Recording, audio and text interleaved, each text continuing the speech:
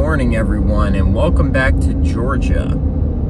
We're gonna head out and flip some tin today, and then maybe do a little bit of road cruising to follow it up, depending on how it goes. So let's go see what we can get into. We finally got some rain, and the drought that was kind of plaguing the month of May before my trip to the west has come to an end, hopefully.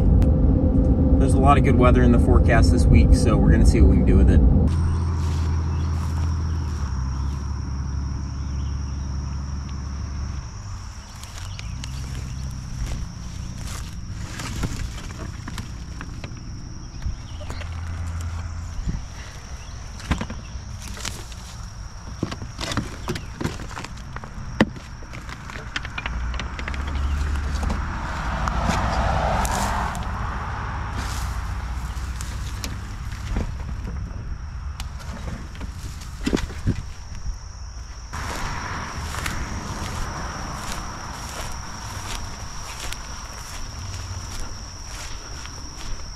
Wow.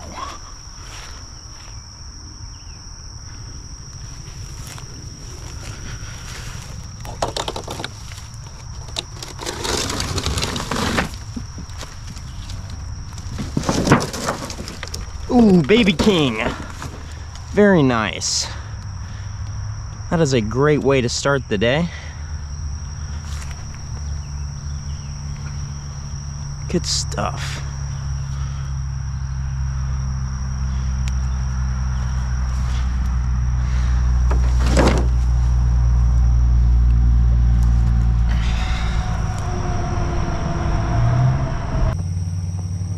That is exactly what I was hoping to start the day with. Beautiful little baby eastern king snake here and a new spot. First spot we checked out this morning, a place I'd never even stopped before. Turns out there's a lot of tin here and king snakes. Very cool. Well, turns out that guy was just getting ready to shed and he just shed out in my hand and wow, that is a stunning little king snake. Young female too. Fantastic. So we are currently in the eastern portion of my home county, and you can tell this guy looks quite different from the yard kings we normally see. And that's because I live over on the western side of this county, where there's a little bit more black king influence, but this thing is just absolutely beautiful. Stunning clean bands, very, very even banding. It seems like seems like each band is the exact distance apart as the last one, which is really cool to see. But fantastic snake to start the day. Couldn't have asked for a much better way to welcome myself back to Georgia than with this beautiful little snake. All right, I'm gonna put this fresh shed girl back in her tin stack and we're gonna see what else we can turn up here.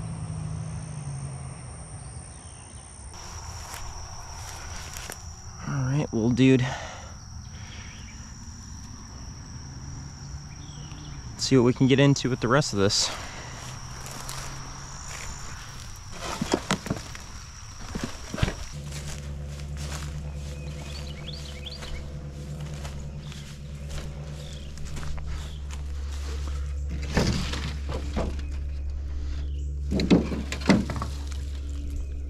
Worm snake.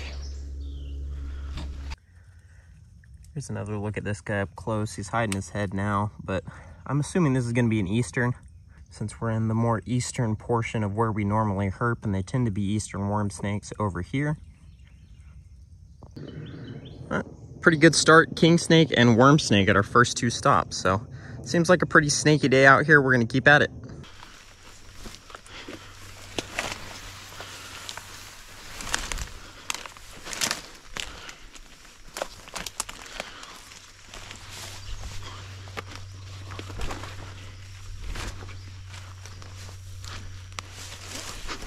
Whoa, hello.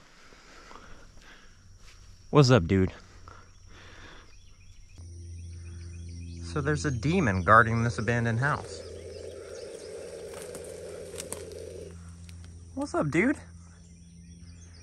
That is a baby vulture.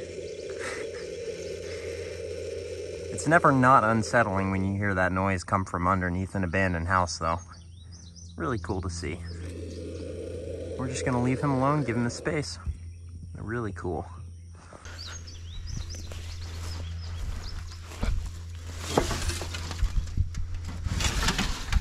Oh, What's up? Oh my goodness. Oh. Oh. Oh my gosh. Look at those chains. That is incredible. Very similar looking to the crazy king I got in the fall here. I think it's a different snake though, because we're not at the same spot. It's just right down the road. Wow. That is fantastic. So I double checked and compared markings just to be safe. And this is in fact a different snake. I was, I was pretty sure it was a different snake just because we're far enough away, but they, they're just awesome looking out here. They have beautiful chains. I've yet to see an ugly one come from this general area. Granted, I haven't seen many king snakes out here. I've never seen two in a day before, so this is off to a fantastic start. That is such a fantastic animal. That is such a stellar snake. Just wow.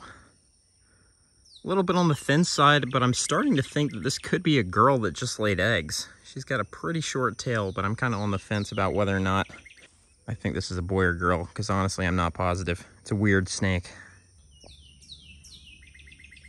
What an unbelievable snake. I'm sitting here waiting for my camera to defog. That's how you know it's a good king snake day. When you can't even take pictures of the king snake you find because it's so humid that your camera is fogging like you're in the rainforest. It's the best piece of advice I can offer young king snake hunters that would like to see one of these snakes in the wild. If it's so humid that you have a hard time functioning, chances are it's going to be a good day for these guys to be out. Well, it's still pretty early in the day and we've already found two of the oh. nicest kings I've seen in North Georgia all year. So, I've got high hopes for the rest of the day. At this point, we have hit a lot of our better flip spots, but we still have a couple left and we've got basically all day to uh, enjoy this beautiful weather we're having. So I'm gonna put this guy back in his stack and we're gonna get back to it. But beautiful king snake number two for the day. And actually at a spot that I haven't flipped a king before. This is another new spot in the same general area where we found kings, but they tend to be a lot more uncommon than the areas we normally frequent. So really fantastic start to the day.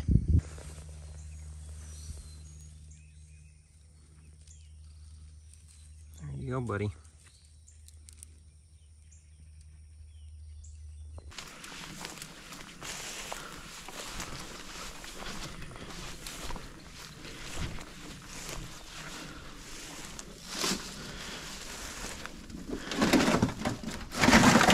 Ooh, big copperhead.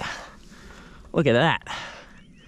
Glad I pulled that piece up with my hook before my fingers. There's a nice lip right there though, so it wouldn't have been much of an issue either way. Very nice. That is a big meaty copperhead. Look at the head on that thing. That is fantastic. All right, we're just gonna cover this guy back up. First copperhead of the day. Hopefully we'll see more, but I don't flip too many of these guys, so I wouldn't count on it. That might be the only one we see today. All right, well, our next stop for the day was just as productive as the first. We got a nice king, a nice copperhead, and a little worm snake. I think those were the only three snakes we saw. But I've got a nice little road cruise out to the next spot I'm gonna hit, so I'm gonna do that. And if I see anything on the way, I will stop. All right, we've got a turtle, and I'm hoping that it's alive. It looks like it's alive, but a lot of times they can be deceptive and they'll be clipped, and then it's just really sad. Looks like this guy is all right, though. That is our second live North Georgia box turtle of the year. Very nice. It's a perfect day for them with this high humidity and all the recent rains, so I would not be surprised if we see a couple today. There are a lot in this general area, so hopefully we'll see a few of these. This is a pretty young turtle, not quite a full-grown adult. Probably another couple of years before this one can reproduce, but I don't really know which way he was trying to go. He was kind of just going up the road, so we'll walk him over to this wood line over here and hope he stays out of the highway.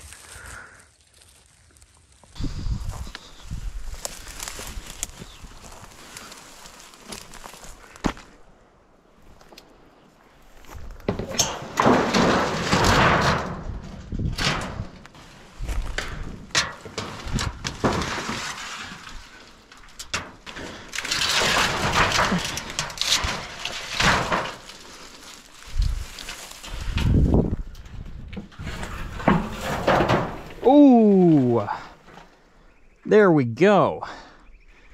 Big cane canebrake. That is not something we get to flip in the Piedmont very often at all.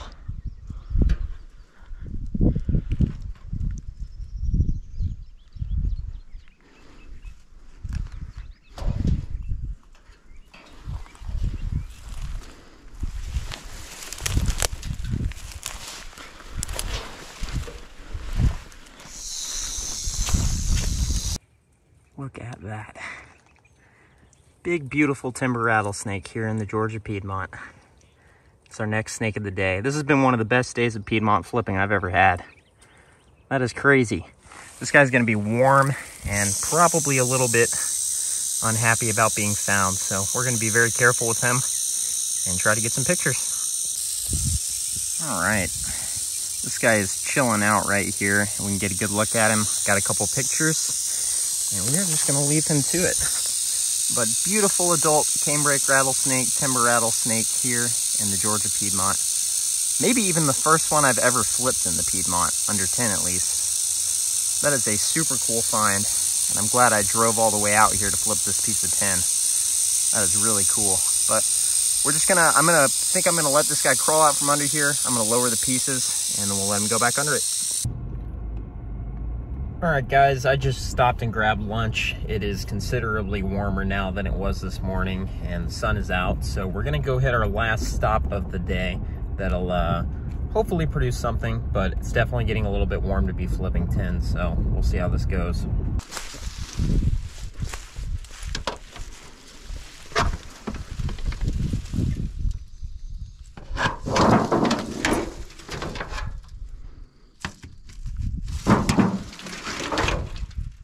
Brown snake. It's the first uh, snake I've seen under this in a while. This guy looks like he's about to go into shed or he's already in shed. Pretty dull looking, but uh, nevertheless, we see tons of these guys. We haven't been seeing a lot under tin lately, but we have been seeing them on the roads pretty often. So I'm just gonna move this guy out of the way, put his stuff down, and we're gonna head to the next set.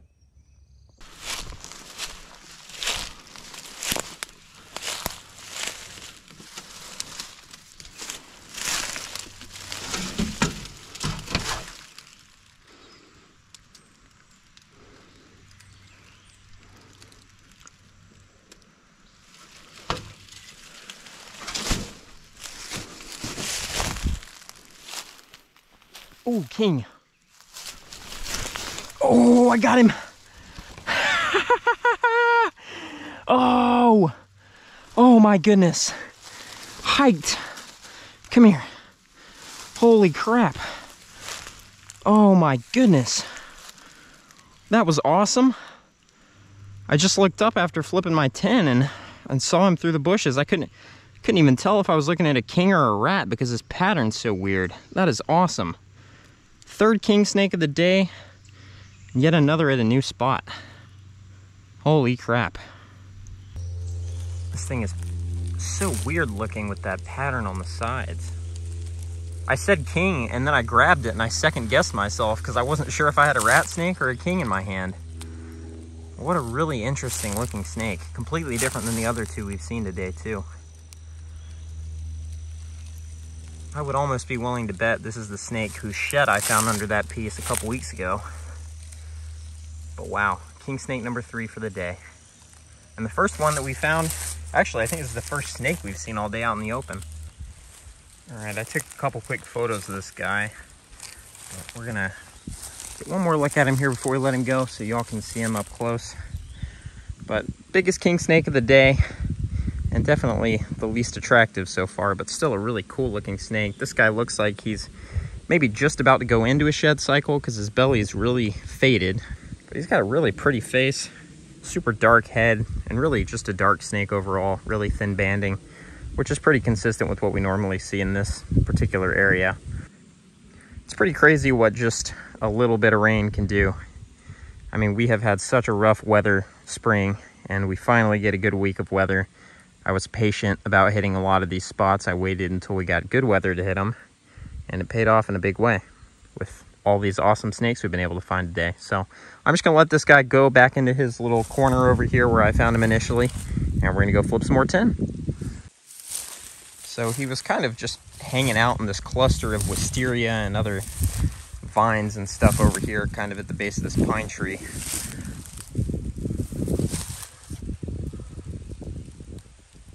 I don't know what this, this mound of dirt is here, but it seems like he was kind of poking around it.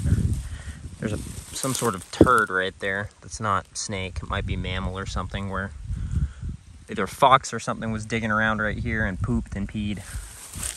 But I don't know. Really cool either way to see this snake just out in the open right here next to this sheet of tin. I think this guy probably frequents this little area and I wouldn't be surprised if we see him under that tin in the future. So I'm just gonna release him. All right, big guy. There you go. Stay safe. This is definitely a big male, by the way. You can see his tail is quite long. All right, let's go flip some more tin.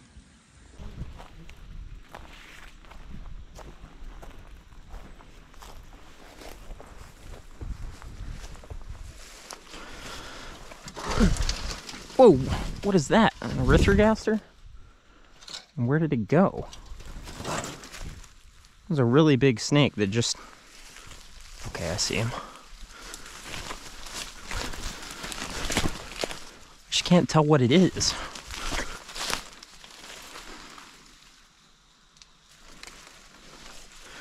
Okay. I see where he went.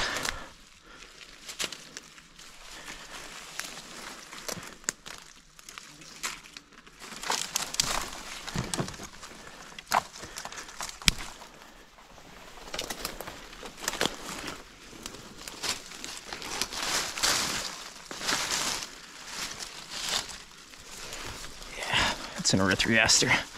There he is. Hello, hello. Okay, relax. Okay. Come here. We want to look at you. That is a big, pretty, plain-bellied water snake. Oh, stop it, stop it. Just let me, let me get a look at you here. That's a good-looking snake. No biting. See, it is fairly easy to calm even the most flighty and rambunctious snakes down. Okay, for the most part. It's all about handling. So whenever you see people that just dive on these things and grab them and are very aggressive with their capture technique, of course they're gonna get bit. But if you're gentle and respectful, you can get out of a capture with even the most bitey snake without getting bit. Okay.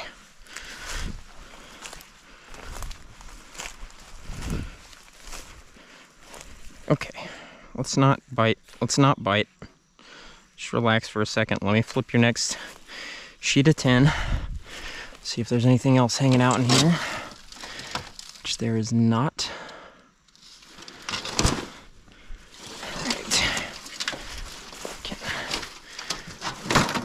That down. This is a very big plain-bellied water snake. We see lots of these guys. There was an old spot we used to go to where we saw a lot of them um, under tin. So it's nice to see one under this tin today. And of course we see them at home pretty often too. But very big, healthy adult plain-bellied water snake is our next find of the day. Hopefully the GoPro footage of me chasing this thing down and catching it came out pretty good. So I'm just gonna let him go back into his pile here and we're gonna keep going we've still got some of the best stuff ahead of us. So, I mean, today has a lot of potential to end up being one of the better days of North Georgia herping I have ever had. Good diversity, good quality, and good numbers all around. So I'm just gonna put this guy back and we're gonna head to our next area.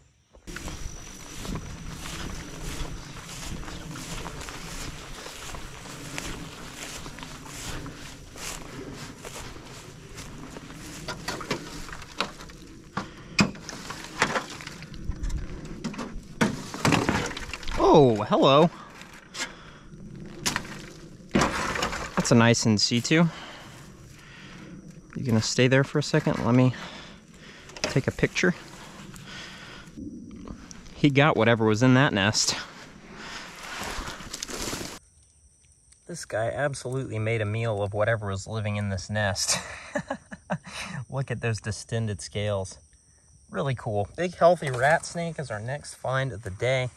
And uh, something I don't see too often in this spot. So pretty cool. But I'm just going to cover this guy back up. Probably not even going to touch him and just let him continue digesting his meal. But really cool, big, healthy rat snake. All right. Pull this out. And we'll gently lower that. It's a nice space under there, so he's not going to get squished.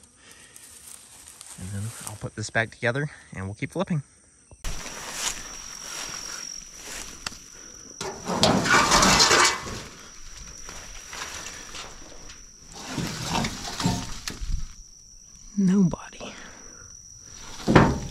Oh wait, there's a red-bellied snake. Look at that guy.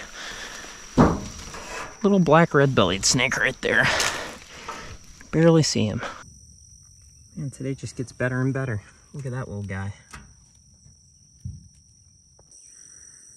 This little beauty is the black phase of the northern red-bellied snake. We see these guys pretty often. The black phase is actually pretty common in my yard. But personally, I think this is my favorite look these guys come in.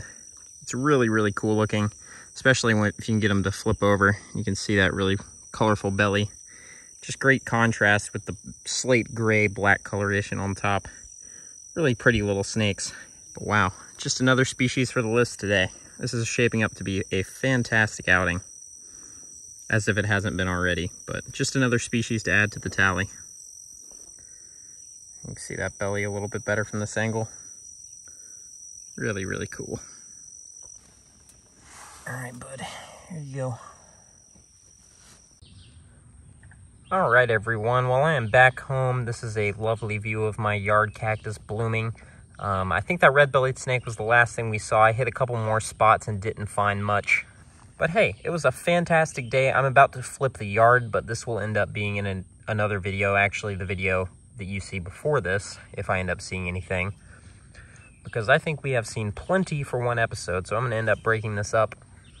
But just wow, what a fantastic day. It started off really early this morning, and it, it just kind of went hard from there on out. There was a little bit of a lull during the heat of the day, but I went and grabbed lunch and uh, drove to some other spots. So it was pretty action-packed all around. I can't complain about that at all.